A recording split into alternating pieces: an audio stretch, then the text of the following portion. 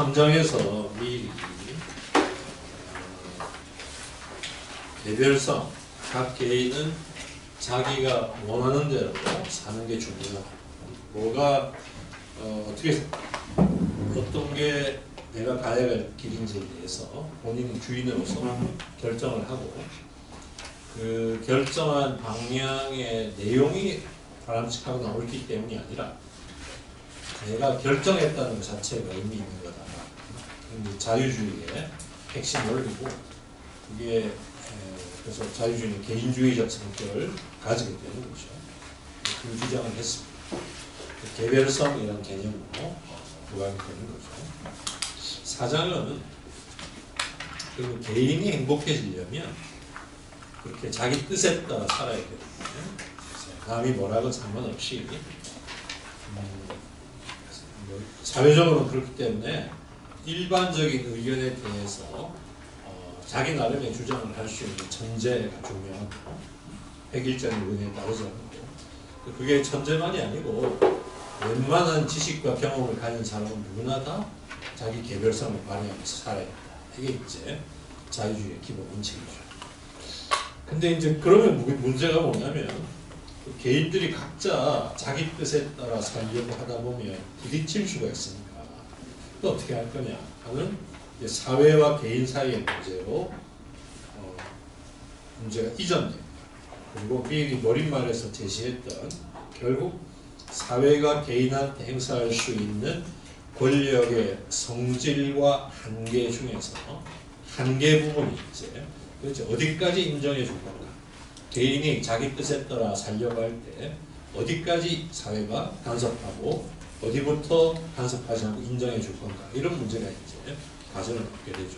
그러니까 어찌 보면 앞에 얘기는 앞에까지는 1, 2, 3장까지는 주로 사회가 개인에 대해 행사할 수 있는 권력의 성질 부분에 초점을 두고 어, 개인이 자기 뜻대로 살 수 있어야 다 자기 자신의 문제에 대해서는 이런 주장을 했다면 이제 남과 관련된 문제일 때 한계가 어디까지냐라는 얘기를 명료히 하기 위해서 그 사장의 제목 자체가 사회가 개인에게 행사할 수 있는 권한의 한계 이게 이제 사장의 제목이죠. 그러니까 개인과 사회의 문제입니다. 지금. 그래서 그 원리를 원리는 이미 머릿말에서 얘기했죠. 머릿말에 했던 얘기를 우리가 다시 뒤집으면 다시 반, 반추해 보면 남한테 피해가 주지 남한테 피해를 주지 않는 이상 남한테 해를 주지 않는 이상 그래서 우리가 함 프린시플 해악의 원리라고 해요. 남한테 해를 미치지 않는 이상 각 개인은 자기 마음대로 자기 개별성을 발휘해서 살 수 있다. 이게 이제 머릿말에서 한 두 가지 다른 방식으로 표현했던 미일의 기본적인 원리죠. 그래서 우리가 이걸 함 프린시플, 해악의 원리라고 부른다고 말씀드렸는데 그러니까 남한테 피해를 주지 않는 이상 자기 마음대로 사니까 남한테 피해를 주지, 해악을 주지 않는 행동에 대해서는 사회가 간섭할 권리가 없고 남한테 해악을 주는 행동은 사회가 간섭할 권한을 가지는 거죠. 이미 그거는 앞에서 밝혔는데 밝히기만 했지 충분한 설명이나 증명을 안 했기 때문에 그 원리에 대한 설명과 증명을 사장에서 하고 있는 거예요. 사장에서. 그래서 사장에서는 그 얘기를 좀 명료하게 하기 위해서 어, 여기 지금 요약해 놓은 것처럼 어, 저렇게 두 번째 문단이었죠. 개인이 일차적으로 이해관계를 가지는 부분은 개별성에 속하고 사회가 간섭하면 안 되죠. 사회가 기본적으로 이해관계를 가진 것은 사회가 권한을 가진다. 공적인 부분입니다. 공적인 부분. 이게 두 번째 문단에서 161쪽이 하고 있는 얘기죠. 어, 이게 머릿말로 이렇게 얘기했던 건데, 그러면 개인이 1차적으로 이해관계를, 개인에 속하는 사적인 부분과 사회가 이해관계를 가지는 공적인 부분이 구체적으로 어떻게 나뉘느냐, 이걸 이제 하나하나 따져봐야 되니까, 그걸 이제 사장에서 하나하나 따져봅니다. 실제로 그러니까 이제 구체적인 법 문제 또 정치 문제에서 사장의 논의가 어, 중요한 논의인 거죠. 구체적인 문제니까. 근데 사장에서 그래서 어, 두 가지를 구분해 놓고 또 두 가지에 속하는 것을 구분을 하려고 합니다.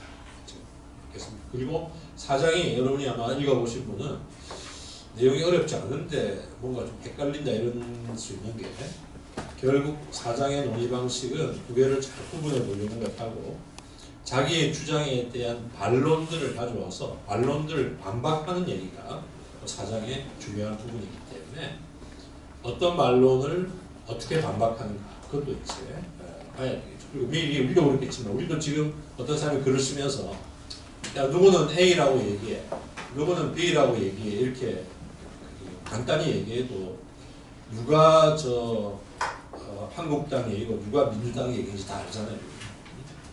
딱 얘기하면 알잖아요. 예를 들어 그 당시에 하던 얘기들을 언급할 때는 굳이 누가 얘기해 이렇게 안 하고 자기 반대편 하는 사람 얘기는 그냥 이런 얘기들을 해 그러면 바로 자기 반대편 사람 얘기입니다. 그러니까 당시의 독자는 누구나 쉽게 알아듣는 얘기지만 우리는 이제 살펴봐야 될 그런 얘기들이 있어서 좀 헷갈릴 수 있는데요. 자 그래서 두 번째 문단에 저렇게 얘기를 한 다음에 원, 원리를 제시했죠. 어, 세 번째 문단에는 우리가 어, 밑, 밑에서 두 번째 보시면 다른 한 사회 속에 사는 한 다른 사람들과 공존하기 위해 일정한 행동 규칙을 준수하는 것은 불가피하다. 그죠? 마음대로 할 수는 없는 거잖아요, 지금. 그래서 세 가지를 얘기한다. 예를 들면 첫째 어떤 걸 지켜야 되냐? 어,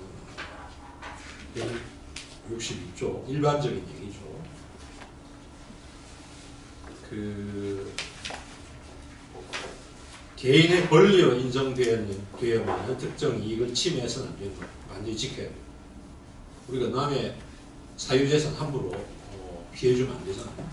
그러니까 그 세 번째 줄에 있는 개인의 권리로 인정되어야 되는 것은 우리가 침해해서는 안 돼요. 분명하죠. 두 번째 또 하나의 의무고요. 또 두 번째 어떤 의무가 있어야 되냐? 우리 사회 모두를 방어하고 사회 구성원이 공격이나 괴롭힘 당하지 않도록 해야 될 희생 중에서 내 몫을 감당하는 게 우리의 의무고.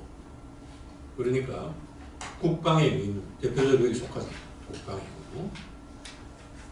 우리 사회를 방어하기 위해서 또 국방의 의무가 아니라도 국방비를 마련하기 위해 세금을 내야 될 의무. 그것도 여기에 속하겠죠. 또 이제 사회 구성원이 공격이나 괴롭힘을 당하지 않도록 하는 데 필요한 노동과 희생이니까 이 경우는 예를 들면 이게 미일한테 딱 맞진 않지만 사회복지를 위한 세금 이것도 여기에 해당돼요. 요새 사회 안정망 이렇게 하시잖아요.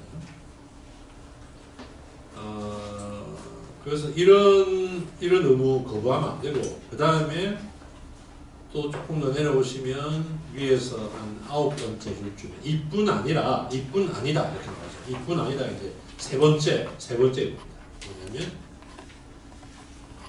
어, 다른 사람 권리를 직접적으로 침해하는데 이르지 않더라도 다른 사람한테 해를 주거나 그들 그들의 이익과 상관이 있는 문제를 사려 깊게 고려하지 않을 경우 이거는 어, 직접 침해 안 했지만 남한테 피해를 줄 여지가 있는 문제를 제대로 고려하지 않을 경우에는 아직 남 이익을 침해 안 했으니까 법으로 제재는 못하지만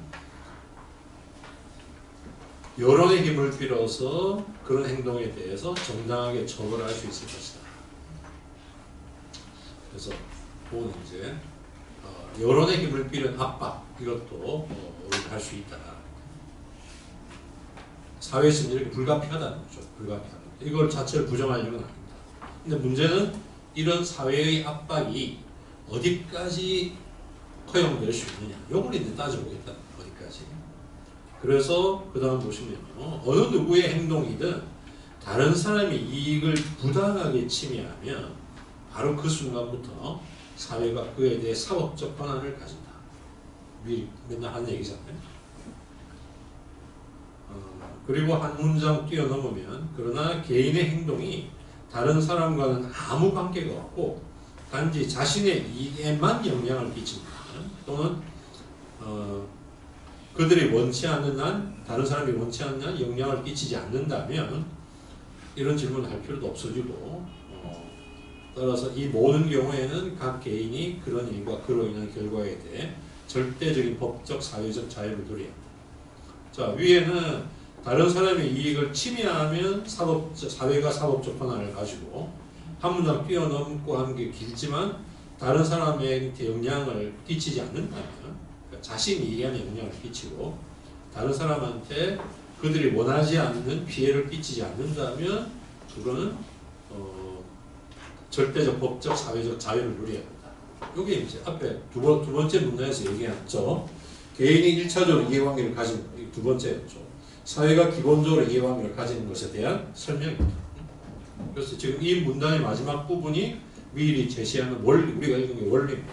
그래서 그 다음 단락에 이 원리가, 그래서 이 원리가, 이 원리는 뭐겠어요? 방금 읽은 저 162쪽 중간보다 밑에 어느 누구의 행동이든 다른 사람의 이익을 부당하게 침해하면 사회가 사업적 권한을 가집니다. 그러나 개인의 행동이 다른 사람과 관계없고 자기 이익에만 영향을 끼치면 어, 절대적인 법적 사회적 자유를 누립니다.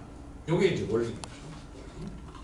그게 이제 미리 앞에서 이미 언급했고 다시 부연 설명한 원리입니다. 문제는 요걸 좀 구체적으로 이제 미리 설명해 보려는 겁니다. 자, 이런 얘기를 하는 거 조금 당연한데요. 우리 지금 세상에서는 당연하죠. 개인의 권리를 인정한다. 근데 개인의 권리를 내 권리가 있으니까 남이 내 권리를 침해하면 안 된다.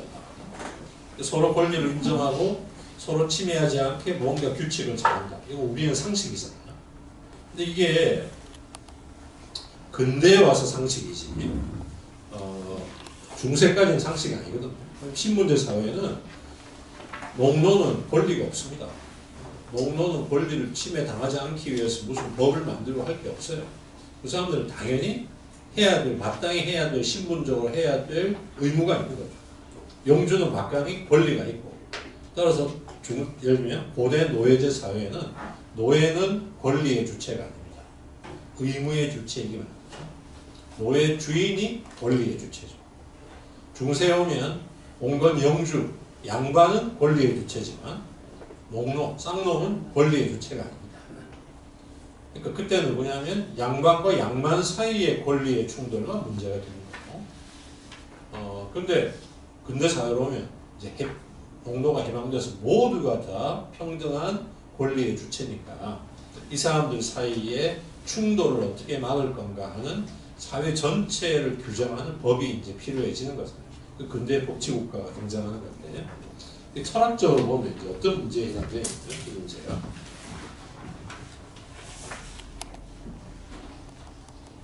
철학적으로 보면 우리가 계몽주의라고 부르는 17세기 이후에 서양 근대의 사상에 해당되는 것의 핵심 키워드를 어, 제 입장에서 한 4개로 규정해 볼 수 있습니다.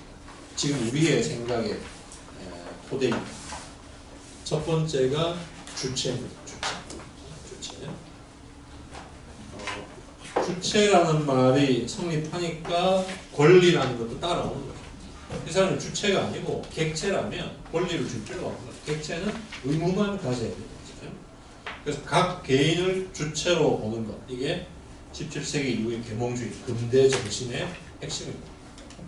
그 전까지는 이제 그 공건 영주만 주체지 용로는 주체가 아니거든요. 시킨 대로 해야 되고 물론 요거는 헷갈리면 안 되는 게 고대도 인간을 주체로 봤지만 고대는 완벽한 주체가 아닌 게 개인이 아니고 공동체적인 존재로서의 인간을 설정했죠.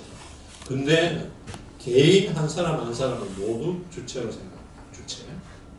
근데 근데 주체가 됐다는 건 뭔가가 객체가 된게 있을 거예요. 뭔가 객체가 되니까 내가 주체가 되잖아요. 뭐가 객체가 되냐? 자연이 객체로서 유효합니다. 자연이. 중세까지는 자연은 신의 피조물로서 뭔가 신비로운 게 있는 거지만 근대로 오면 자연은 이제 우리가 마음대로 바꾸고 지배하고 해야 될 대상으로 설정이 되는 베이컨이 아는 것입니다. 자연을 아는 게 필요한데 왜? 자연을 정복하기 위해서 자연 정복 사상. 물론 베이컨은 이 사람은 그 행정가였기 때문에 자연 정복 사상을 인간을 위해서 제시합니다. 워낙 기아 상황도 있고 굶어 죽는 상황도 있고 살기 힘드니까 인간이 이런 기아 상황에서 벗어나려면 자연에서 더 많은 걸 뺏어와야 인간이 먹고 살 수 있으니까 인간이 살기 위해 자연을 정복해야 돼. 기술 발전 이런 걸 전담하는 거죠. 자연이 객체가. 자연은 이제 신의 피조물로서 우리가 어, 존경하고 존중해야 될 대상이 아니라 인간의 도구와 수단으로서 그래서 자연을 기계론적 자연, 기계론적 자연 인간을 자연을 기계로 보는 겁니다. 하나의 기계 수단으로 인간이 마음대로 할 수 있는 그리고 따라서 인간이 마음대로 자를 수 있는 matter 아니 mass 일종의 덩어리를 보고 막 자른 수학적 대상을 보고 그 다음에 이제 각 개인이 주, 주체가 되려면 이게 sub 키워드가 뭐냐면 주체려면 자율적인 존재가 해야 되잖아요. 자율적인 autonomy 타율적이면서 주체일 수는 없잖아요. 그러니까 내가 자율은 자율 우리가 autonomy라고 해서 autonomy잖아요. auto가 autos 스스로고 nomy가 노모스 법이라는 얘기입니다. 그러니까 주체는 뭐냐? 스스로 부여한 법에 의해서 움직이는 사람. 스스로 부여한 법에 따르는 사람.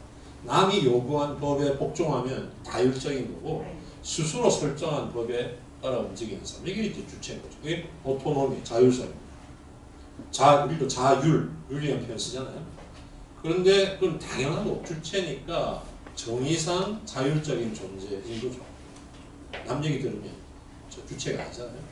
이렇게 자율적일 수 있는 실제 인간의 능력은 뭐냐? 바로 인간의 이성이다.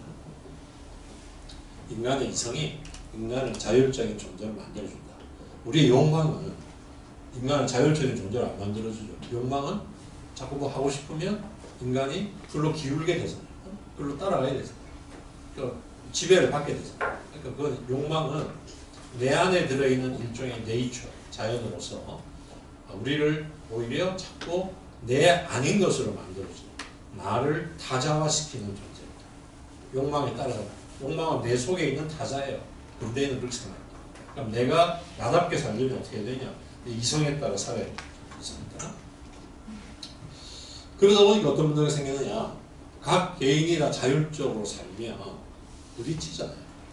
그러면 각 개인, 근데 만약에, 어, 저는 수업을 한 시간에 끝내고 싶은데, 선생님들은 수업을 두 시간 반 하고 싶으세요. 한 시간에 끝내버리면, 선생님들은 억지로 한 시간에 끝났잖아요. 타율적이잖아요. 주체가 안 됩니다. 저는 한 시간 맞춰 가고 싶은데, 억지로 두 시간 반 하면, 저는 주체가 아니잖아요. 그러니까 서로 부딪히면, 누가 하나가 힘을 발휘해서 억지로 지배해버리면 지배받는 쪽은 주체 아닌 게 되니까 모두가 다 주체가 되려면 결국 자율적인 주체들을 어떻게 조화시킬 거냐 하는 게 중요한 과제가 됩니다. 조화가 돼야 모두가 주체로 있을 거죠. 그게 이제 어떻게 조화시킬 거냐 하는 게 각 개인을 주체로 못하 보니까 각 개인들이 부딪혀도 자율성을 해치지 않도록 어떻게 조화시킬 거냐 이게 근대의 숙제가 숙제 과제 그래서 근대 철학자들은 어떻게 하면 개인들이 자기 뜻에 따라 움직여도 조화롭게 자기 각자 주체로 존립하게 만들까? 이게 근대 철학의 과제. 그래서 우리가 아는 근대 철학자가 제시한 많은 답들이 저와 연관된다 보시면 됩니다. 아주 주상춘이 높은 것부터. 예를 들면 라이프니츠가 예정 조화설 이런 게 예정 조화설. 예정설은 굉장히 형이상학적 차원에서 라이프니츠에 따르면요. 세상을 구성하는 기본 유닛들은 모나드입니다 모나드 모나드는 라이프니츠가 반대했던 물리적인 접근 뉴턴식의 물리적인 접근에 따르면 세상을 구성하는 기본 원 기본 단위는 아톰 원자입니다 원자와 모나드의 차이는 뭐냐? 그러니까 위에는 단자라고 생각하잖아요. 단자라고. 원자는 공간을 차지하고 있는 거죠. 더 이상 쪼갤 수 없는 거. 그리고 쪼개면 그 성질이 사라진다. 물리적으로 힘 있으면 쪼갤지도 몰라요. 하지만 산소 원자는 만약 쪼개버리면 더 이상 산소로서의 성질이 없는 거죠. 그래서 원자인데 모나드는 뭐냐면 그렇게 물리적인 존재가 아니고 모나드는 위치가 없는 저 저 저, 저, 부피는 없고 위치만 있는 일종의 형이상학적 존재입니다. 그래서 일종의 힘의 단위, 힘의 단위. 그래서 라이프니츠의 모나드는 재밌는데 이게 물리적인 게 아니고 힘의 단위니까 예를 들면요, 어, 그 라이프니츠 모나드의 정의가 뭐냐면 자기 법칙에 따라 움직이는 놈입니다. 자기 자신의 고유한 법칙에 따라 움직이는 놈. 그러면 우리 인간 몸이 뭐로 구성되어 있습니까? 뭐로 구성되어 있죠? 갑자기 어려운 철학하다 쉬운 질문을 드리면 전환이 사람. 인간 우리 몸은 세포로 구성되어 있잖아요. 그럼 세포가 부분이고 인간 몸이 전체잖아요. 세포가 인간 몸을 이루는 단위죠. 그 세포는 세포 차원에서 나름의 법칙이 있잖아요. 그럼 세포 하나의 모나드입니다. 어? 근데 세포가 모여서 개체가 되면 개체가 움직이는 나름의 법칙이 있죠. 우리가 개체가 되면 우리가 기뻐하고 슬퍼하고 뭘 원하고 법칙이 있잖아요. 근데 그 법칙이 세포의 법칙과 같습니까? 다릅니까? 다르잖아요. 그러면 인간이 되면 인간 개체는 그 나름의 독자적인 법칙을 갖고 있는 한 놈입니다. 이건 하나의 모나드예요. 그러니까 세포도 그 수준에서 하나의 모나드인데 인간 개체도 하나의 모나드예요. 수준이 달라지면서 저는 우리는 우리 뜻대로 움직이는 나름의 법칙이 있어요. 사람이 모이면 뭐가 됩니까? 개인이 모이면 사회가 되잖아요. 그럼 사회도 나름대로 움직이는 법칙이 있는데 그 개인하고 다르잖아요. 그럼 사회도 하나의 모나드입니다. 그러니까 이게 원자론처럼 원자가 모여서 분자가 되고 분자가 모여서 이렇게 차곡차곡 쌓이는 게 아니고 레벨이 아무리 달라져도 나름대로 독자적으로 움직이는 법칙이 있는 건 다 모나드예요. 그래서 모나드의 핵심은 자율사입니다. 지법칙에 따르죠. 근데 모나드가 부딪히잖아요. 부딪히잖아요. 어, 그러기 위해서 모나드는 각자 자기 법칙대로 움직이지만 서로 안 부딪히도록 미리 조화되어 있다. 다 그렇게 프로그래밍 되어 있다. 이게 이제 라이프니즈의 예정 조화서입니다. 그러니까 극단적으로 말하면 제가 지금 어, 이 책을 일로 옮겨 놓잖아요. 예? 그러면 얘가 저 때문에 옮겨졌으면 얘는 타율적인 거잖아요. 저는 자율적이겠죠. 그럼 얘는 자기 법칙에 따라 움직이는 게 아닌 거잖아요. 따라서 어떠지? 이렇게 옮겨놓고 이렇게 움직이면 저는 이 시점에 팔을 이렇게 뻗치게 돼 있었고 얘는 얘 프로그램에 따르면 그 순간에 저를 옮기게 돼, 저로 옮겨가게 돼 있었대요. 그러니까 실제로 내부에서 힘을 미쳐서 옮겨진 게 아니고 자기의 내적 법칙에 따라서 움직여진 건데 겉으로 보면 내가 영향을 줘서 얘가 옮겨진 것 같지만 사실은 다 내적 법칙에 따라 움직이는데 모든 사물들의 내적 법칙이 그렇게 딱딱 맞아떨어지게 미리 조화되어 있다. 누구에 의해서? 전능한 신에 의해서. 그게 이제 약간 이상한 소리 같지만 목표가 뭐냐? 각자 자기 뜻에 따라 움직이는 모나드인 자율적인 주체들이 어떻게 자기 따라 움직이면서도 조화를 이룰 수 있느냐 굉장히 주상적 표현을 한 거죠. 그 다음에 굉장히 구체적으로 한 것도 있습니다. 예를 들면 아담 스미스 시장 시장도 어떤 체계냐 시장 속에 오는 사람들은 각자 뭘 추구합니까? 자기 이익을 추구 자기 뜻에 따라 남의 이익을 위해 희생합니까? 그럼 타율적이잖아요. 시장에 오는 사람은 남한테 강제로 그럴 수는 있지만 스스로 남의 이익을 위해 희생하는 사람은 없습니다. 시장에 나와서 물건 파는 사람들이 나는 망해도 좋으니까 시장은 흥해라 이런 사람이 어디 있습니까? 다 자기 이익을 챙겨오는 거죠. 근데 우리가 상식적으로 생각하면 우리 선생님들 계신 가족이나 가정이나 혹은 선생님들이 뭐 모임이 있으시 모임이나 이런 데서 또 학생들이 동아리가 있는데 그 모임의 구성원들이 모임 자체에 대해서는 전혀 배려 안 하고 정지 이익만 챙기면 그런 모임은 잘 돼야 됩니까? 깨져요. 깨져야 되는 상식이잖아요. 근데 세상 모임 중에 시장이라는 모임은 가장 구성원들이 자기 이익만 챙기는 모임이 시장입니다. 그럼 깨져야 되죠. 근데 안 깨지고 각자 자기 이익을 챙기는 자율적인 행위를 잘 조화시키는 메커니즘이 뭐냐? 자본주의 시장이다. 그러니까 아담 스미스가 그 정당화하려는 거죠. 그 조화시키는 시장의 메커니즘이 수요 공급 법칙도 있고 뭐 등등 해서 조화시킨다. 그 조화 시스템으로 시장을 내미는 겁니다. 그러니까 시장을 발생하면 주체로서의 개인들이 다 조화될 수 있다. 또 근대 국가, 근대 민주주의라는 것도 사실은 조화 시스템으로 제기되는 거고 오늘날은 시민사회 서로 공론화시키는 거다 조화 시스템. 각자 자기 이익을 내세우지만 어떻게 조화할 거냐. 조화라는 게 근대 철학의 과제. 시대마다 철학자들이 고민해야 합니다. 왜? 개인이 자율적인 주체니까 조화를 시켜야 되죠. 미일도 5, 4장에서 하고 있는 게 뭐냐. 3장에서의 얘기는 개인이 주체라는 얘기를 하는 셈이고 4장에서의 얘기는 뭐냐. 그러면 각자가 자기 뜻에 따라 살지만 어떻게 사회를 이루어서 조화를 이루어야 되냐. 사회, 국가, 사회가 개혁을 해야 되는데 어디까지 제어를 하고 어디까지 간섭을 해서 개인들이 조화를 이루도록 할 거냐 하는 조화의 문제가 지금 여기 나오는 거죠. 그래서 미 답은 그거죠. 어, 남한테 피해를 주는 것은 사회가 간섭해서 제재를 해야 각 개인이 남한테 피해 안 주면서 자기 뜻대로 살 수 있는 조화의 시스템이 이루어질 수 있다. 이 얘기를 구체적으로 하고자 하는 게 지금 이 사장의.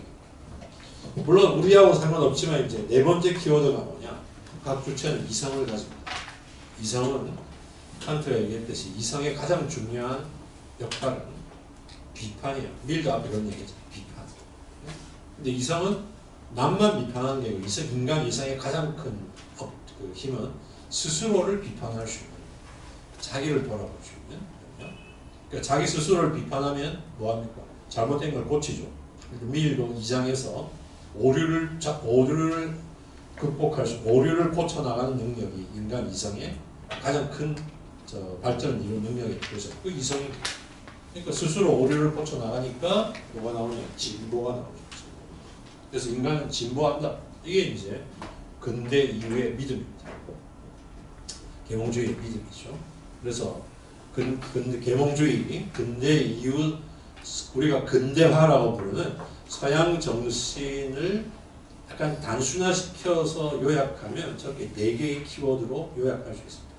모든 개인은 주체고 자연은 인간이 인간을 위해서 도구화시킬 수 있는 객체고 그리고 모든 인간은 자율적인 존재이기 때문에 사회가 이 인간들을 어떻게 서로 자율적이면서도 누군가가 타율, 타율적인 존재가 안 되게 어떻게 조화시킬 것인가 하는 것을 사회가 맡아야 되고 그러면서도 어려움이 있지만 이성이 갖고 있는 신뢰, 이성에 대한 신뢰 때문에 결국 인간은 종으로서는 발전, 진보할 수밖에 진보해 나갈 것이다. 이게 이제 계몽주의의 생각입니다. 밀도 이런 생각을 공유하고 있습니다. 지금. 그리고 또 조화 문제를 사장에서 다루고 있는 셈입니다. 어, 그래서 이 원리, 이 원리는 머릿말에서도 얘기했지만 여기서도 지금 얘기하는 원리죠.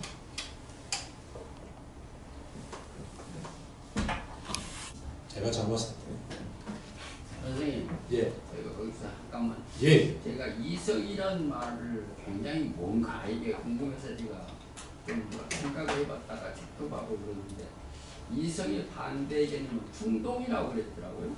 그래서 충동의 반대 개념은 이제 이성이라는 그런 개념이라고 그러는데 선생님은 지금 말씀하신 것을 스스로 오류를 고쳐 나가는 것 이거하고 그런 것이 조금 뭐랄까 유사성은 같는데 그렇다고 그 정의상으로 이성을 그렇게 정의한다는 게 상당히 그래서 이성은 또 같은 개념으로 지성 또 이런 개념으로도 쓰고 그래서 그 이성이라는 개념이 상당히 그 혼란을 가 철학에서는 맨날 이성 이성 이성 이야기를 하는데 뭘 어떻게 가까이 정의를 할 수 있는 게 참 어려운 것 같아요. 물론 뭐 쓰는 사람 마음이죠. 나는 이성이 이거다. 누가 아? 맞히는데 서양 전통에서 이성은 가장 이성에 대한 일차적인 정의는 따지는 따지 따지는 따진 따지는 겁니다. 따지는 네? 따지는 거 따지는 게 뭐 하는 겁니까? 왜, 왜 따집니까? 이유를 캐묻는 이유를 캐왜 이유를 캐묻습니까? 이게 맞는지 틀리는지를 따지는 거잖아요. 네? 물론 우리 일상생활에서는 이게 내 나한테 이익이 되냐 안 되냐를 따지죠. 그것도 이성입니다. 뭐 그거는 이제 도구적 이성입니다. 예를 들면 내가 이 강의를 맡는 게내 이익을 챙긴다라는 목적에 비추어 볼 때 효율적인 수단인가 아닌가를 따지는 거죠. 이때는 그것도 그것도 이성의 역할입니다. 그 다음에 어, 내가 이렇게 사는 게 올바른 길인가 잘못된 길인가도 따지잖아요. 도덕적인 걸 따지는 거예요. 그래서 이성의 가장 기본적인 그 역할은 따지는 겁니다. 그 따지는 걸 이제 뭐 사유한다, 뭐 숙고한다, 어떤 말로 표현하든 간에 우리말로 하자면 따지는 거예요. 그 따지는 건 다시 말하면 논리적인 과정인 거죠. 논리적. 그래서 이성을 로고스라는 말로 표현한다고요. 로고스. 로고스. 근데 이성과 다른 게 뭐가 있느냐? 두 개만 이- 서양 전통은 이성과 충동이 반대가 아니고 두 개만 있는 게 아니고 세 개입니다. 제가 전에 말씀드렸잖아요. 진선미라고 합니다. 진선미. 인간이 갖고 있는 능력이 이성, 지성 이게 이해하고 따지는 거. 이해한다는 게 그냥 받아들이는 게 아닙니다. 따져서 확정이 돼야 우리가 이해하는 거지. 그냥 받아들이는 게 이해가 아니죠. 그래서 따져보고 아 이거구나. 이게 여기까지 옳고 여기까지 잘못됐구나. 이건 되고 이건 안 되는구나. 이게 이해하는 거지. 그냥 그렇다 할 때 예, 이게 이해가 아니잖아. 그러니까 어, 이성 지성이 우리의 뭔가 아는 능력인데 그 알면 그냥 받아들이는 게 아니고 따져. 구체적으로 알의 내용이 요즘 말하자면 어떤 거냐면 분석적 이해, 비판적 평가 이게 포함되는 거예요. 그래서 능동적인. 분석적 이해는 뭔가를 저 사람 얘기가 무슨 말인지를 그냥 저 사람이 하고자 하는 바가 뭔가를 알려고 할 때도 하나하나 따져서 어, 궁극적으로 하려는 주장은 뭐지? 그걸 위해서 제시하는 근거는 뭐지?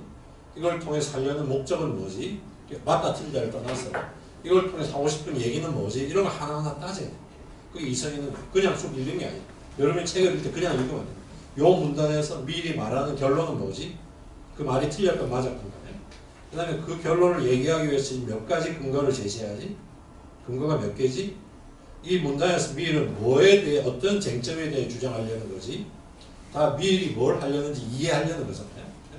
그렇지. 근데 이해를 그냥 보면 안 돼. 내가 스스로 따지면서 그 이해할 때 따지는 방식이 분석적으로 하나하나 따져요. 그리고 여기에서 미일이 지금 방금 하신 말 이성이란 말을 무슨 뜻으로 쓰고 있지? 이것도 지금 미일이 말하는 걸 잘 이해하기 위해 따지는 거예요. 그 다음에 그것만이 아니고 미리 이걸 통해서 궁극적으로 하고 싶은 얘기가 뭐지? 까지 가요. 예, 함축, 함축.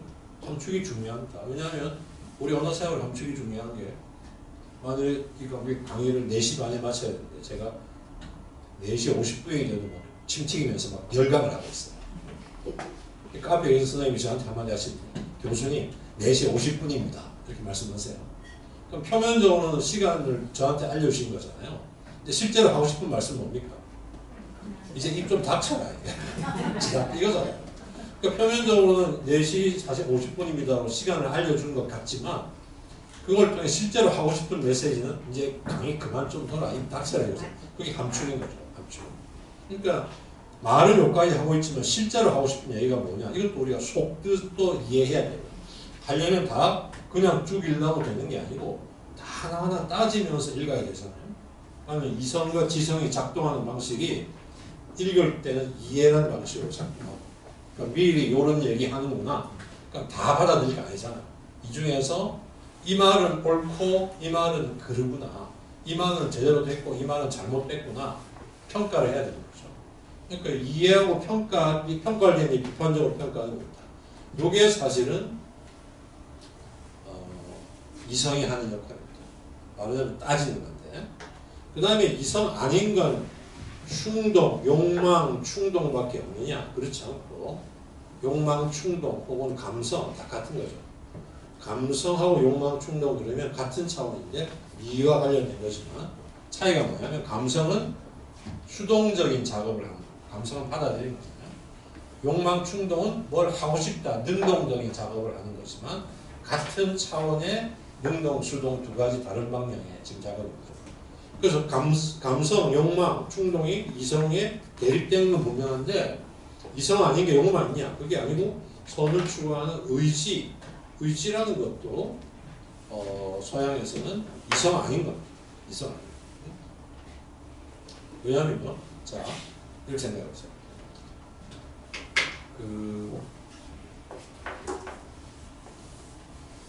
그막 다이어트 하는데 막, 막 먹고 싶어요. 막 다이어트 하는데 앞에 케이크 나왔어요. 막 먹고 싶어 미치겠어요. 먹고 싶어 미치겠는 건 이성입니까 의지입니까 충동입니까? 충동이잖아요. 그때 아니 절대 안 먹겠어. 이거는 이성입니까 의지입니까 충동입니까? 예? 그건 의지입니다. 근데 절대 안 먹는 게 반드시 옳다는 보장이 있습니까? 없잖아요. 하지만 나는 그렇게 하고 싶잖아요. 지금. 내 안에 내가 주인에 대해서 하고 싶은 게 있고 욕망은 내가 주인이 아니고 나를 쫓아오게 만드는 게 있는 거죠. 그럼 나 안에서 행동 관련해서는 욕망, 충동과 의지가 부딪히는 거예요, 사실. 근데 내 의지가 항상 올바른 길, 항상 적절한 길, 항상 진리의 길이라는 보장은 없죠. 그내 의지가, 내가 하고자 하는 의지가 이게 적절한지를 또 뭐 해야 됩니까? 따져야 됩니다. 따져야 되죠. 그 따지는 건 뭐예요? 이성이 따지는 거예요. 그러니까 의지대로 산다고 착하게 사냐? 그런, 그런 사람이 있습니다. 의지 자체가 착한 사람. 그래서 칸트가 우리한테 선의지가 있다 그랬는데 의지대로만 못 사니까 착하게 못 살기도 하지만 의지대로만 살아도 착하게 산다는 보장이 없어요. 칸트는 인간의 궁, 그래서 칸트가 칸트도 의지와 자의를 나눕니다. 그 독일어는 윌레와 윌큐어인데 욕망이 아닌 것도 두 가지가 있다. 그걸 따라 살면 착하게 살 수 있는 의지도 있지만 그게 아닌 내 마음대로 하고자 하는 의지도 있다. 그것도 욕망하고 다른 의지다 이겁니다.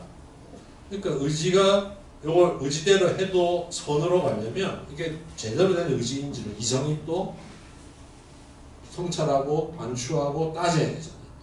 그러니까 착하게 살려면 따질 능력이 있어야 돼요. 응? 그래서 서양 전통에서는 플라톤이 이래 혼의 삼문법이라 부르는 게 결국 이성은 뭐냐면 의지, 욕망과 대비되는 개념, 대비되는. 그리고 이성의 본질은 돼.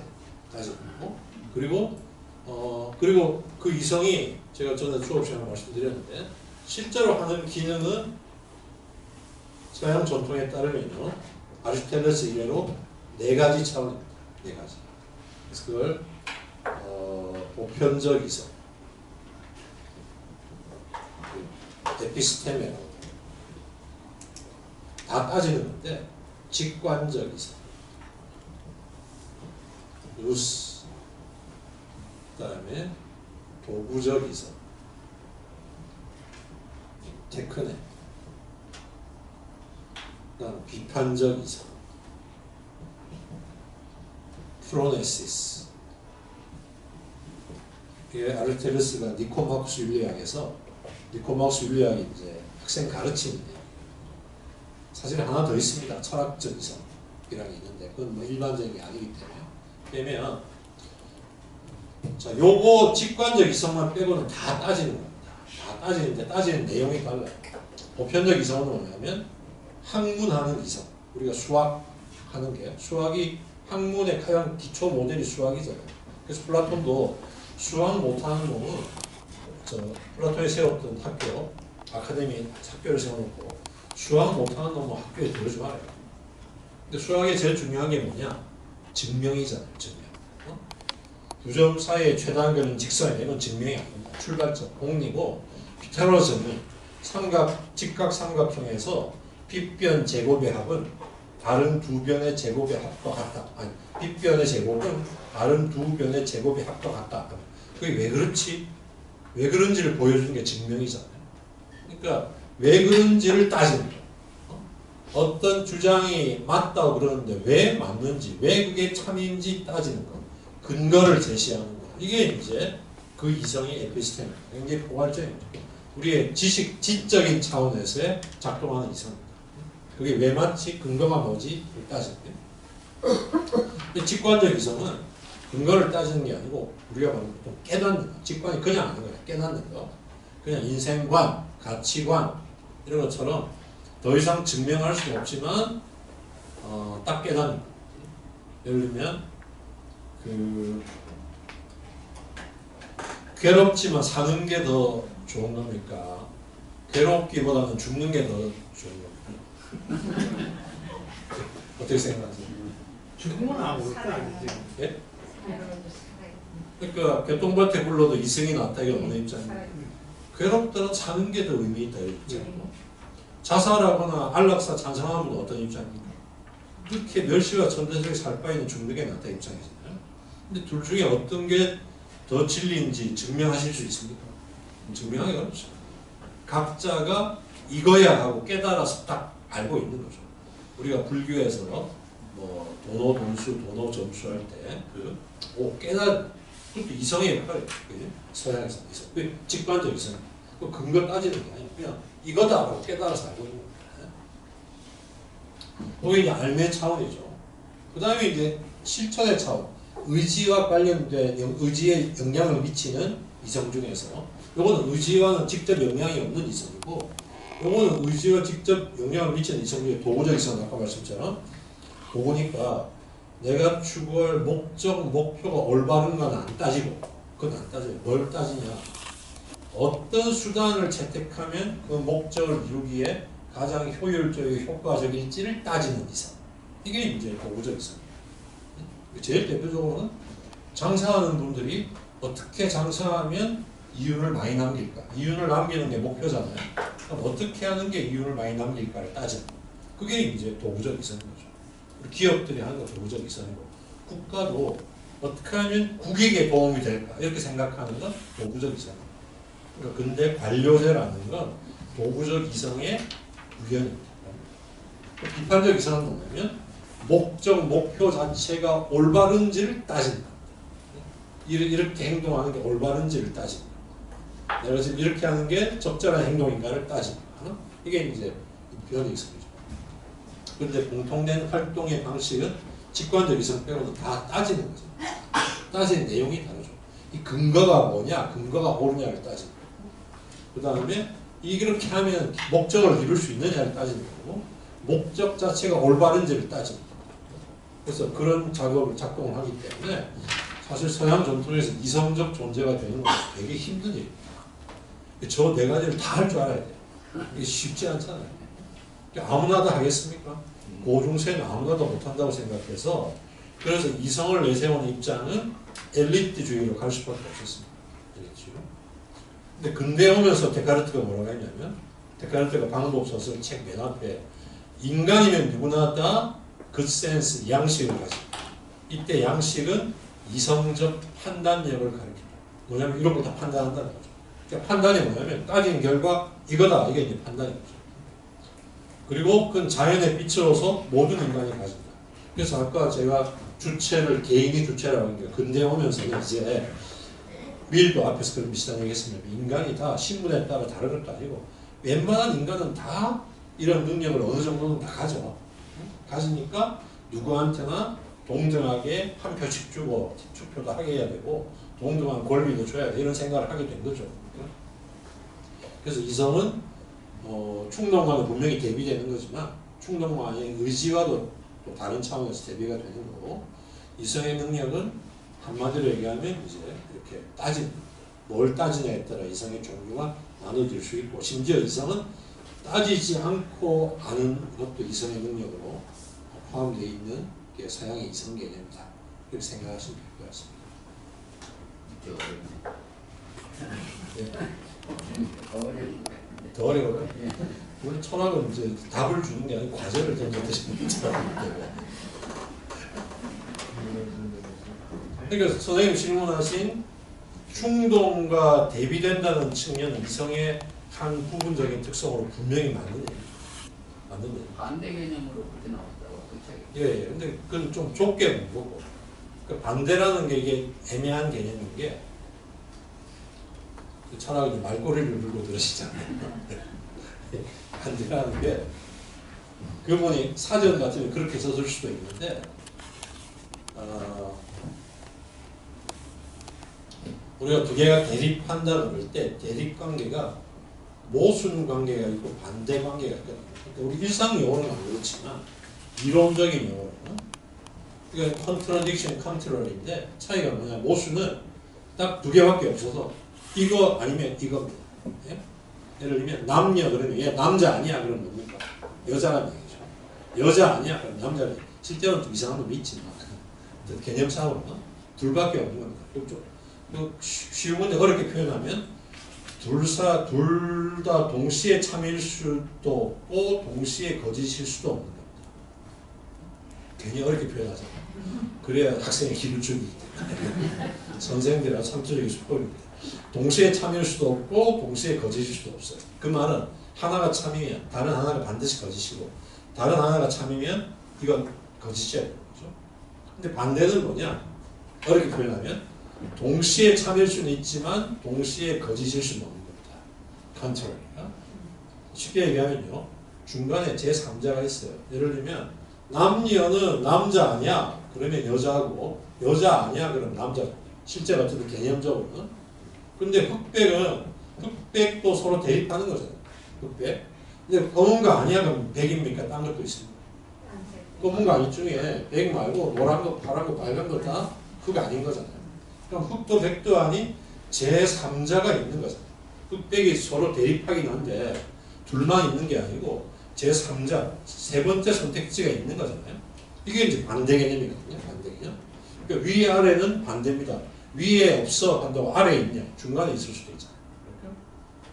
그래서 대립하는 개념이 그렇게 어, 그 관계가 다를 수 있는데 따라서 엄밀히 말해 그런 의미를 쓰면 충동과 이성은 대립하지만 모순 개념이 아니고 반대라는 게 맞는 얘기죠. 왜? 충동도 이성도 아닌 뭐가 있습니까? 의지가 있잖아요. 의지가. 그러니까 이성도 이성 아니야. 이걸 충동이야. 그게 아니고 이성도 충동도 아닌 의지라는 세 번째 레벨이 있기 때문에 그런 의미에서 만일 엄밀하게 썼다면 이성과 충동은 반대 관계다 이렇게 쓰는 게 틀린 건 아닌 거죠. 그 말이 이성도 충동도 아닌 제3의 이성도 아니야, 충동도 아니야 해도 뭔가 남는 거 의지를 이제 전제하고 쓴 말일 수도 있는 거죠.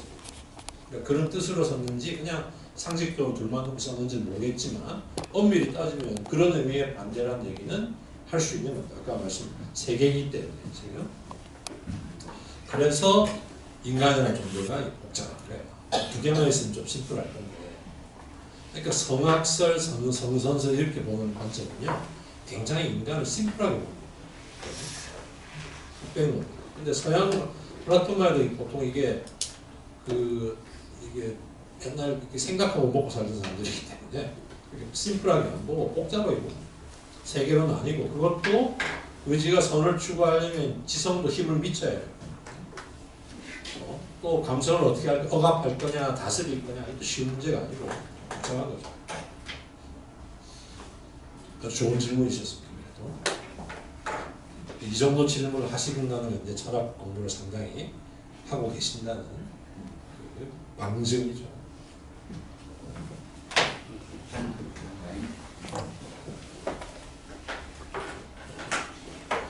자, 그래서 어, 163쪽에 이 원리를 이기적인 무관심 얘기하는 거예요. 전부 니꺼만 챙겨라 이거 아니다. 오히려 이 원리는 우리 모두가 어, 그네 번째 문장 위에서 다섯 번째 우리 모두가 다른 사람의 이익을 위해 사심 없는 노력을 많이 기울여야 할 필요성을 강조한다. 왜? 항상 내가 다른 사람한테 해를 주는 게 없느냐를 생각해야 되잖아. 내가 내 뜻대로 하는데 기본이 다른 사람한테 해를 끼치지 않는 거니까 시시각각 내가 혹시 이렇게 함으로써 다른 사람한테 해를 끼치는 게 없는가를 생각해야 되니까 내 것만 챙기는 원리가 아니고 다른 사람의 이익을 위해 사심 없는 노력을 기울여야 할 필요성을 얘기하는 거죠. 어, 따라서 그래서 좀 내려오시면 영어로 셀프 리가이 나오는 개인적 동목만 아니고 그런 사회적 동목 개인적 동목은 내가 어떻게 되냐고 사회적 동목은 다른 사람과 어떻게 관계를 맺느냐잖아요. 사회적 동목을 중요하게 생각하는 거다. 그리고 또 밑에 밑에 보시면 방법도 강압적인 게 아니고 그렇기 때문에 확신과 설득을 통해서 어, 하려는 것이고 그런 걸 얘기하고요. 자 그러면서 164쪽으로 넘어가시면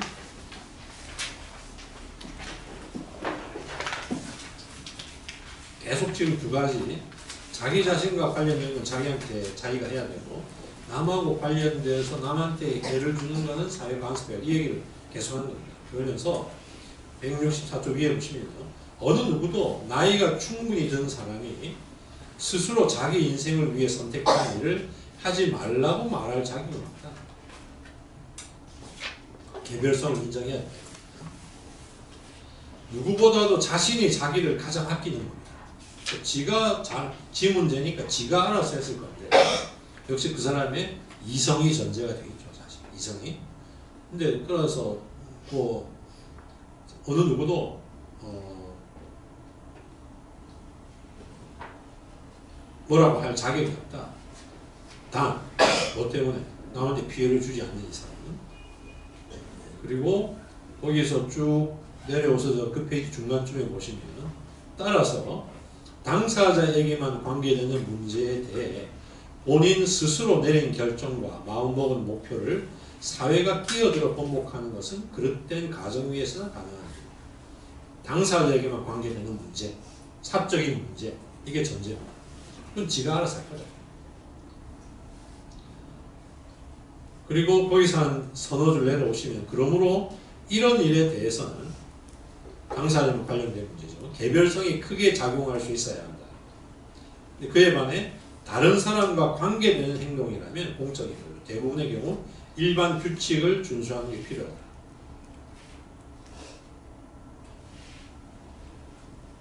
그러면서 어, 그 얘기를 하고 또 다시 본래로 돌아가서 그러나 밑에서 두 번째 각 개인 고유의 문제라면 그 사람의 개별적 자발성에 전적으로 된 다. 다른 사람은 그저 그 사람의 판단을 돕기 위한 고려를 하거나 의지를 강화하기 위한 경고 정도만 하고 또 경우에 따라서는 강요인데 이 강요는 이제 강요라고 번역해서 그런데 강한 권고죠. 강한 권고를 할 수 있을 것이지만 어떤 상황에서는 본인이 최종 결정권을 가져야 된다. 물론 다른 사람 충고나 경고를 안 들어서 실수를 저지를 수도 있지만 그게 당사 맨 밑에 그 문단 맨 밑에 당사자 뜻을 무시한 채 강제함으로써 발생하는 손실과 비교하면 아무것도 아니다. 그래서 이 부분 이 문단은 결국에는 자기 자신에 관련된 것을 절대로 관여하면 안 된다. 그것을 강조하는 거죠. 이 문단에서는. 그 뒤에는 뭘 얘기하겠습니까? 그 뒤에는 다른 사람과 관련된 것에는 사회가 관여할 수 있다. 그 얘기로 나가기 위해서 일단 선을 긋는 거죠.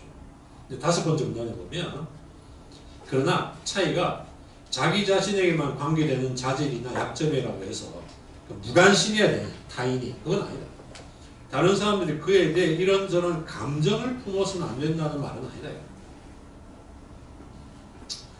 어, 어떤 사람이 다른 사람의 어떤 그런 자기 자신에만 관계된 걸 보고 그 사람이 해당되는 걸 보고도 나한테는 해악을 안 주는 걸 보고도 존경을 할 수도 있고 또그 문단 중간쯤 오시면 존경과는 반대되는 감정을 따를 수도 있다. 그리고 보기에 따라서는 밑에서 네 번째 줄에 천박하거나 타락한 사람들이나 좋아하는 취향이 있고 있는데 이런 짓을 하는 사람이라고 해도 그 사람이 그런 취향을 가지고 있다고 내가 그 사람한테 해를 가해서는 안 된다. 그러나 그를 혐오의 대상 또는 극단적인 경우에는 경멸의 대상으로 간주하는 건 불가피하고 또 적절한 이럴 수도 있다. 내가 태도는 보일 수 있다. 예를 들면 어, 술 취해서 맨날 술 취해 있어. 근데 밀 나중에 나중에 그 사람이 가장인데 가족은 안 돌보고 술 취해 있으면 그거는 가족한테 피해를 주는 거죠. 그러면 사회가 간섭할 수 있어요. 근데 홀몸인데 맨날 술 취해 있어요. 그러면 그게 남한테 크게 피, 직접 피해 주는 거 아니잖아요. 그럼 우리가 술 안 먹도록 강제할 수 있냐? 강제는 못한다. 하지만 뭘 할 수 있냐? 무관심해. 그건 아니고 걔 보고 예, 욕할 수 있다 이거죠. 야, 이 병신 같은 욕은 할 수 있지만 그렇다고 강제로 술을 못 먹게 행동에 제재를 가해서는 안 된다. 이게 미래 생각이에요. 그래서 그 미묘한 선을 얘기하기 위해서 지금 다섯 번째 문단부터 여섯, 일곱, 여덟 번째 문단에 쭉 그 얘기를 하는데요. 그 얘기를. 그래서 제가 지난번에 거기 나오는 두 가지를 좀 대비시켜 보셔야 된다 이런 얘기 했는데 그걸 두 가지를 대비하기 위해서 제가 예를 하나 들어보시, 들어드리겠습니다.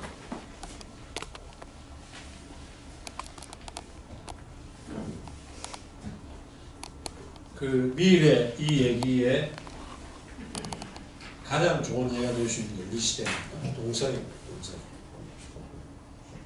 동성. 동성애가 지금 그 우리 사회에도 상당히 공개적인 반문의 일부가 되어 있잖아요. 아직 뭐 동성 결혼 문제까지는 얘기가 안 되고 있지만 한국 드라마에도 드- 드라마나 영화에도 많이 등장하잖아요. 근데 동성애 문제에 대한 아주 일차적인 논쟁거리가 뭐냐면 동성애자가 남자가 여자가 나쁜 사람이냐 나쁜 놈이냐 싫은 놈이냐. 이게 일차적인 논쟁거리. 동성애자가 나쁜 놈입니까? 싫은 놈. 이때 놈은 특정 성이 아니고 일반 놈이잖아. 어떻게 생각하세요? 물론 개 중에는 좋은 놈이라도 있을 수 있는데 나쁜 놈입니까 싫은 놈 이 나쁘다 싫다가 전혀 다른 게 우리가 일상적으로는 둘 다 부정적인 평가잖아요. 둘 다. 그래서 우리가 혼도했습니다. 몹시 싫으면 저 나쁜 년 그럽니다. 몹시 싫다는 거죠. 이게 엄격히 다른 개념인 게 나쁘다 착하다라는 것은 객관적인 도덕적 평가를 나타내는 개념입니다.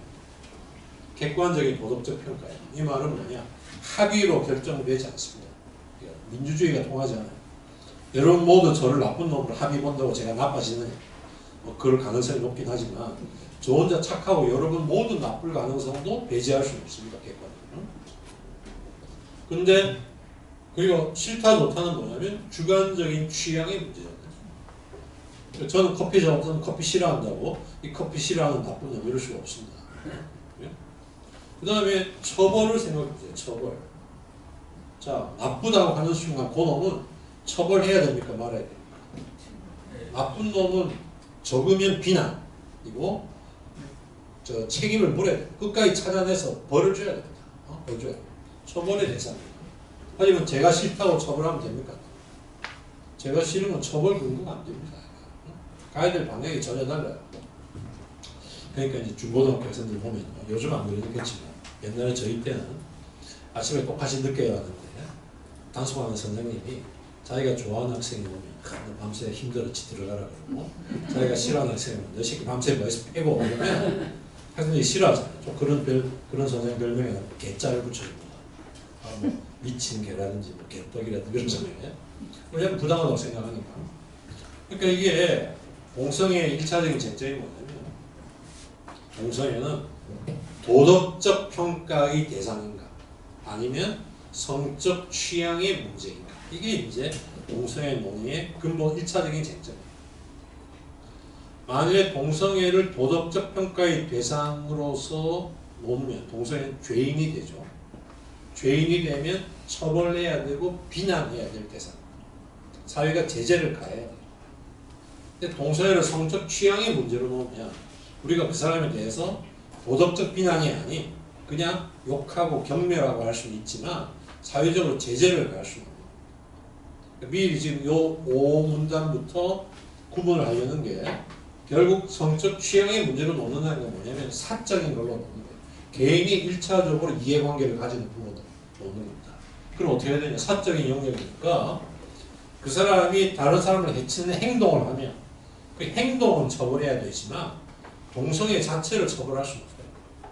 그지 사적인 영역. 근데 만일에 동성애 어떤 걸 도덕적 평가의 대상으로 놓고 나쁜 걸로 놓으면 그놈은 처벌해야 되는 거죠. 그렇죠? 비난해야 처벌해야 돼요. 그래서 도덕의 차원에 속한 이때 도덕은 비난하고 처벌하고 책임을 물어야 돼요. 도덕의 차원에 속하는 것과 아닌 것을 구분해서 요거는 사적인 차원이고 요거는 공적인 차원이니까 공적인 차원은 어, 사회가 간섭해야 되고 사적인 차원은 사회가 간섭하면 안 된다. 이 얘기를 하기 위해서 지금 이 5문단부터 한 서너 문단을 그 구분을 쭉 해가기 때문에 우리가 거기에 주목해서 이 문단들을 좀 보셔야 됩니다. 약간 헷갈리게 좀 번역상으로 되어 있습니다. 아, 자, 그래서 지금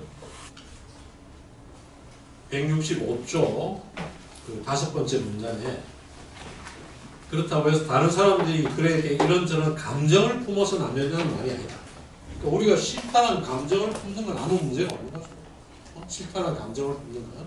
하지만 그렇다고 법적으로 제약을 가해서는 안 된다 이 얘기를 하려는 거죠.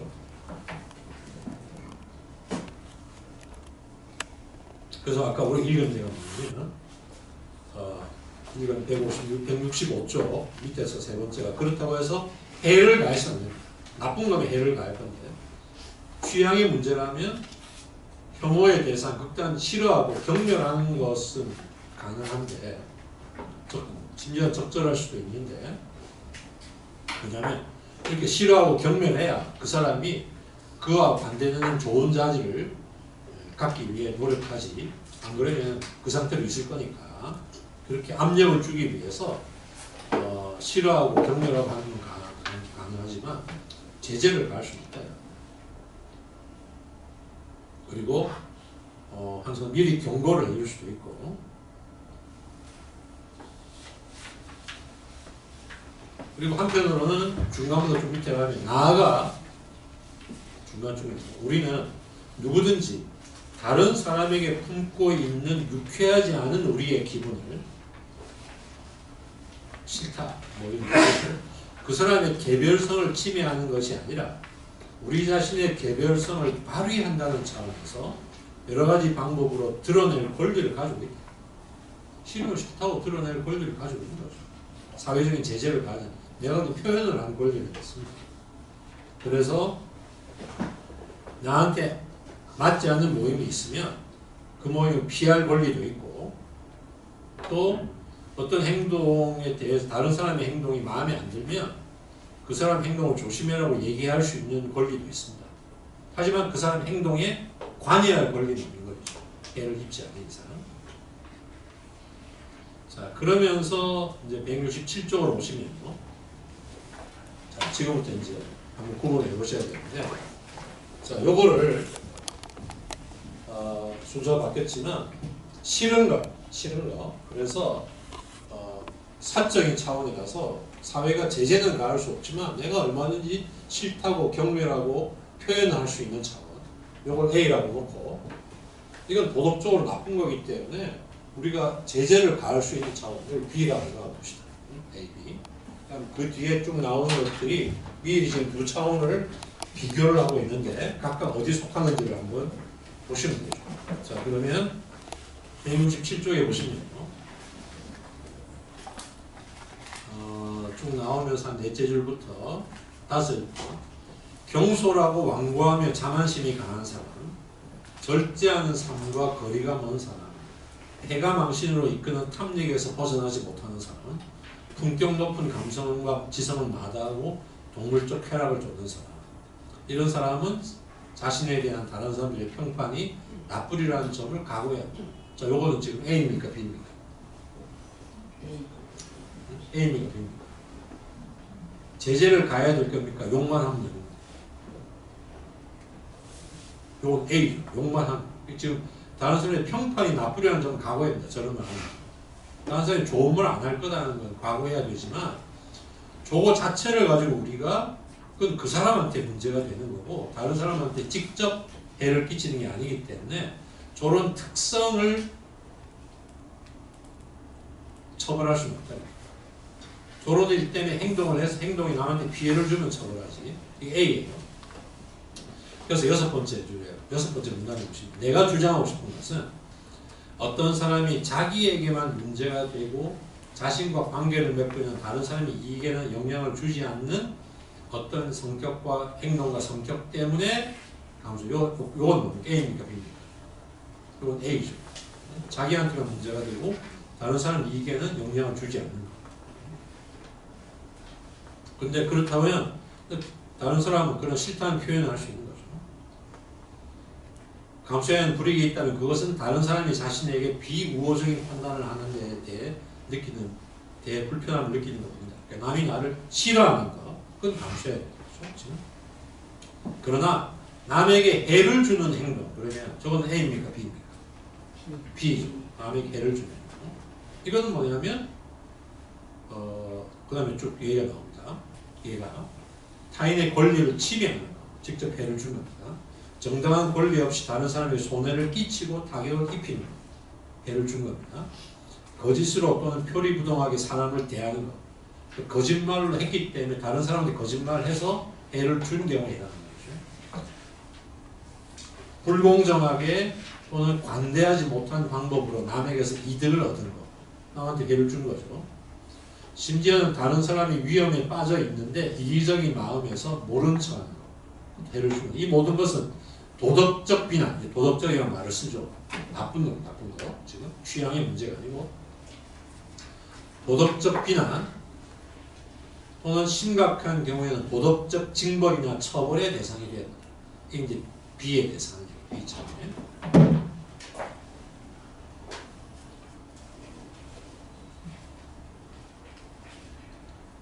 그리고 그런 행동을 유발하는 직접적인 행동만이 아니라 그런 행동을 유발하는 기질도 비도덕적이라 할 수 있습니다. 어떤 덕성, 잘못하면 혐오감으로까지 번질 수도 있는 비난의 대상입니다. 그런 게 어떤 거냐 내가 나오죠 지금 잔인한 기질. 그러니까 거의 확률 높게 남한테 피해를 줄 수밖에 없는 기질을 지금 얘기합니다.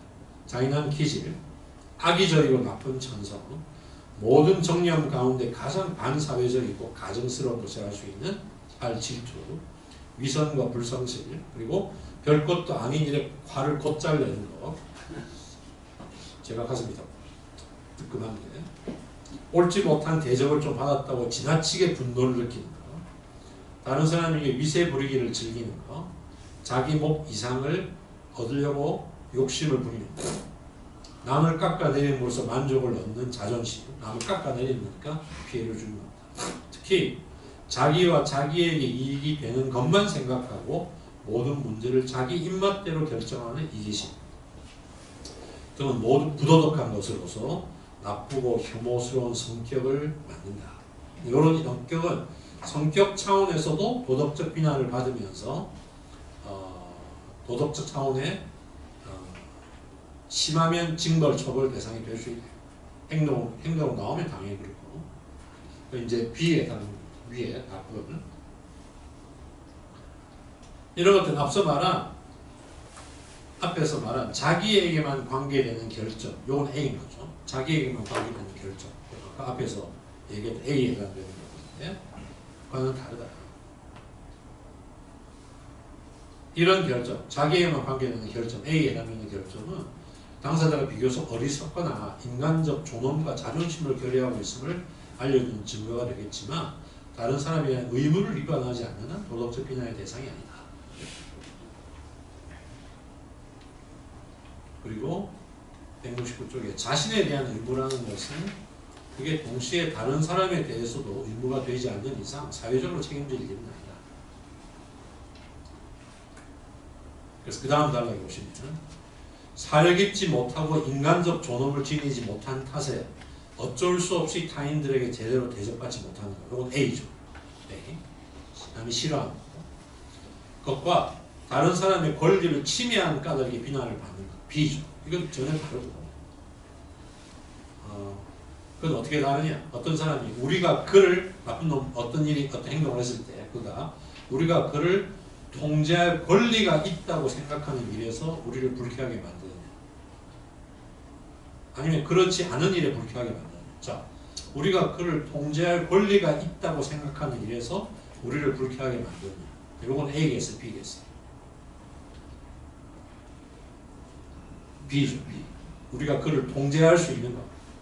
둘 다 이 얘기를 왜 하냐면 둘 다 1차적으로 불쾌한 감정이 들 수 있잖아요. 근데 불쾌하다고 다 그 사람을 통제할 수는 없다 이거.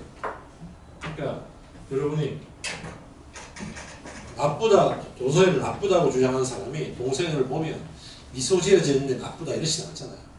동성애에 대해서 다 불쾌함을 느끼는 사람도 불쾌하지만 통제할 수 없는 거다. 그냥 싫으니까 상종 안 하면 된다. 이렇게 봐야 되냐. 성적 취향이면 그렇고 불쾌하면서 동시에 저는 도덕적 죄니까 우리가 제재를 가해야 되냐 이게 다르잖아요. 그 불쾌의 종류가 두 개가 있다. 우리가 제재를 가해야 될 일에서 얻는 불쾌함 A, B이고 그건 아니고 그냥 불쾌함 느끼지만 제재는 가할 수 없는 거 그건 A고 싫은 거죠. 그 차이가 있다. 그래서 어, 그 차이가 또 그 밑에 가면 어떻게 되냐면요. 어,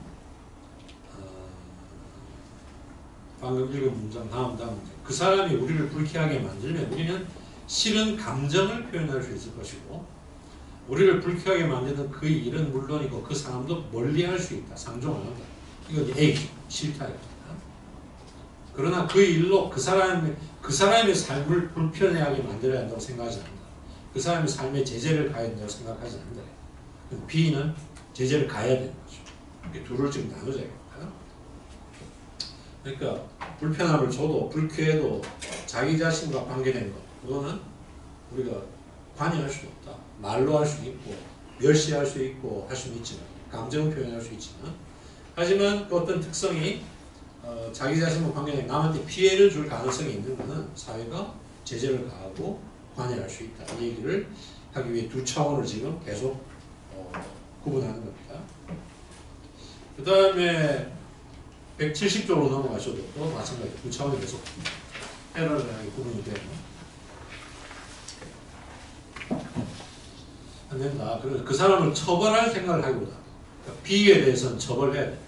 우리가 앞에서 B라는 처벌해야 되고 그에게 그런 행동으로 인해 생기는 나쁜 일들을 어떻게 피하거나 치유할 수 있을지 가르쳐 줌으로써 그가 받는 벌을 경감케 해줄 방도를 열심히 찾는 게 더 좋을 거야. A에 대해서는. 어, 너 그렇게 하면 이런 피해를 보니까 그렇지 하지 마라고 가르쳐 주는 거. A에 대해서는 가르쳐 줄 수 있는 거죠. 말을 안 들으면 할 수 없는 거거든. 그는 우리에게 동정이나 혐오의 대상은 될 수 있을지 몰라도 노여움이나 분노의 대상은 아니다. 자, 요건 이제 우리말로는 사실 그 구분이 안 되는데 위에는 이렇게 구분한 거죠. 그러니까 A는 아, B는 A 싫은 경우에는 동정이나 혐오의 대상은 될 수 있지만 노여움이나 분노의 대상은 아니다. 노여움, 분노는 행동, 나도 제재를 가하는 행동이 나오는 거예요. 그를 사회의 공적인 것처럼 다뤄서 안 됩니다. 사회의 공적인 것처럼 다루는 걸 노여움, 분노, 결국 어, 공적인 영역으로 다루면 안 됩니다. 거에 대해서는.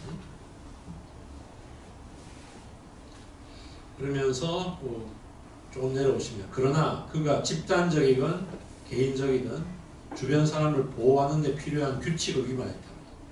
그건 이제 B죠. 남한테 피해를 주는 거죠. 밑에 몇 줄에 다른 사람이 피해를 보는 거고 따라서 그 밑에 줄에 증, 응징을 가해야 하고 그 다음 밑에 줄에 징계의 표시로 고통을 줘야 되고 또 처벌이 무겁도록 신경을 써야 됩니다. 그래서 그 다음에는 한쪽 다른 쪽 마지막 비교가 나오는데 한쪽은 그 사람이 범법자로 법정에 앉아 있고 우리는 그에 대해 심판하고 형량을 결정해야 하는데 다른 경우에는 어, 그런 건 아니고 맨 밑에 보면 그 사람에게 어떤 행, 형태로든 고통을 주는 것은 우리가 알 일이 아니다. 자, 그렇게 되어 있죠. 그러면 한쪽 경우는 A입니까 B입니까? 범법자로 법정에 앉아 있고 우리가 그에 대해 심판하고 형량 강하는 것 그건 B죠. 근데 A에 대해서는 우리가 그 사람한테 직접적으로 사회가 타인이 고통을 주면 안 된다. 멸시하고 천대하고 할지라도 압박을 줄지. 그건 다른 경우는 A입니다. 그래서 미리 지금 이게 5단락 후반부터 5, 6, 7에 거쳐서 두 경우를 보여주는 거예요. 다 우리한테 신경질 나게 만들고 불쾌함을 주는 거지만 불쾌함을 다수가 불쾌함을 느꼈다고 바로 제재를 가할 수 있냐? 아니다. 그게 그 사람 개인과 관련된 것, 특성, 취향의 문제 이런 거는 나하고 달라서 불쾌함을 느껴도 그것 때문에 제재를 가하면 안 된다. 피하면 되는 거지. 하지만 남한테 객관적으로 피해를 주거나 남한테 객관적으로 피해를 줄 가능성이 분명한 것. 그 부분은 사회적으로 제재를 가할 수 있는 공적인 요소가 됩니다. 그러니까 실제로 개인의 특성과 특, 또 특성 중에도 그런 것과 아닌 것을 본인이 구분해서 또두 차원으로 구분해서 지금 보여주는 겁니다. 왜냐하면 아무리 원칙상 사적인 거 공적인 걸 나누고 개인한테 관계된 거 사회에 관계된 거 아무리 나눠도 실제 사람들이 가면은 뭔가 자기한테 불쾌감을 주면 다 이쪽으로 간다 이쪽 다, 다 일로 가서 실제로는 객관적으로 남한테 객관적인 해악을 주는 게 아닌데도 자꾸 처벌하려고 한다 그럼 개별성이 억압되니까 어, 그 미일에 따르면요 사실은 어떻게 되냐 우리 동성애는 19세기 19세기의 가치관 입장에서는 동성애도 이거라고. 얘기. 그리고 기독교는 통으로 동성애는 이거 동성애는 나쁜 놈입니다. 기독교는 또 보통 나쁜 게 아니에요. 아주 세제곱 나쁜 놈입니다. 왜냐하면 신이 남녀를 창조해서 본성하도를 만든 게 신의 질서인데 동성애에서는 그걸 정신으로 어긴 놈이죠. 정신으로. 어, 그래서 기독교를 믿었다면 인간은 태어날 때 신의 남자 아니면 남자 여자로 태어나서 이전에서 태어났는데 동성애자는 지가 동성애를 선택했으니까 책임을 져야 되나 백번이 안 보여도 병들었구나. 다 그래서 원래 뭐 이게 뭐냐면 이게 왜 책임 문제가 되냐면 현대 현대의 윤리학자들의 다수는 이쪽으로 봅니다 동성애를 왜 이쪽으로 보냐 A, B를 가르는 가장 중요한 기준은 자기가 책임질 수 있느냐. 책임질 수 있는 얘기는 선택 가능성 선택 가능성 달리 말해서 자유가 전제가 되냐. 유시가 자유. 이때 자유는 이제 리버터라기보다는 프리덤인데 뭐냐면요. A도 할 수 있고 B도 할 수 있었는데 너 왜 A 안 하고 B 했어? 왜 B를 선택했어? A도 할 수 있었는데 너희가 잘못한 거잖아. 책임져 이럴 수 있는 거죠. 그러니까 선택 가능성이 전제가 되는 것은 본인한테 책임을 물을 수 있습니다. 근데 선택할 수 없는 것은요 책임 물을 수가 없습니다 누군가가 너 왜 남자야? 너 왜 여자야? 이렇게 책임 물을 수가 있습니까? 못 묻죠. 어? 너왜 살쪘어? 이건 본인의 많은 노력이 들어간 거니까 책임 물을 수 있는데 너 왜 남자야? 너 왜 여자야? 너 왜 한국 사람이야? 어? 너 왜 흑인이야? 본인이 선택한 게 아니기 때문에 책임을 물을 수가 없어요. 도덕적 비난의 대상이 될 수가 없습니다. 근데 기독교 전통은 동성애자는 이성애자로 태어나는데 신의 뜻에 의해서 본인이 선택했거나 백번 양보해도 병들었거나 죠 그러니까 선택했다면 책임을 져서 벌받, 벌받아야 되고 병들었다면 치료받아야 될 어쨌든 에브노멀하다고 보는 거죠. 근데 이제 현대 윤리학자들은 다수는 아직 동성애의 메커니즘 기전이 100% 밝혀지지 않았지만 대체로 동성애자로 태어나거나 길러지는 사람이 대다수가 보기 때문에 본인 책임이 아니니까 이렇게 얘기할 이렇게 얘기할 수 없다 이런 입장이 지금 강한 거죠. 그래서 미일은 말로는 사적인 거 개인한테는 관계되는 거 다른 사람한테 폐하를 주는 거 얘기하지만 실제로는 우리가 다수가 싫으면 자꾸 제재를 가하는 경향이 있으니까 그걸 엄격히 구분하기 위한 실제적인 사례로 요 5, 6, 7문단을 통해서 부정적인 특성이지만 그 사람의 부정적인 특성이 모두 다 도덕적 처벌의 대상이 되는 게 아니다. 그 구분하기 위해 제가 말한 A, B를 지금 평행해서 쭉 보여주는 겁니다. 그래서 보호를 이제 대비해서 읽는 게 이 부분의 제일 중요한 독해의 어, 지침입니다. 자, 잠깐 쉬었다가 계속 하겠습니다.